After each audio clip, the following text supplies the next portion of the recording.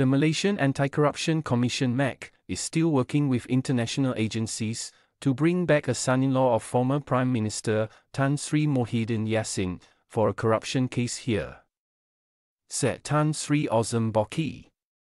The MACC chief said that while it was possible to charge Datuk Seri Muhammad Adlan Berhan in absentia, this would only be done when all other options were exhausted. We are actively coordinating with international authorities to locate him. Indeed, we have now issued a notice against him. We can still decide to charge in absentia, but that will be the last option.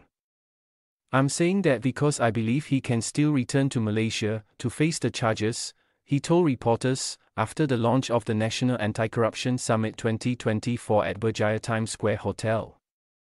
Kuala Lumpur here, today.